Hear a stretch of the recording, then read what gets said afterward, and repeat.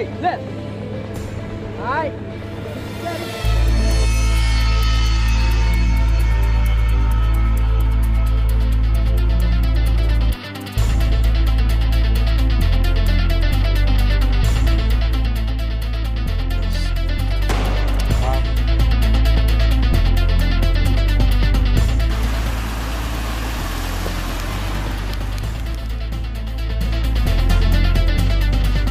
Asia Pacific is a region highly prone to disasters, sometimes with many millions of people affected.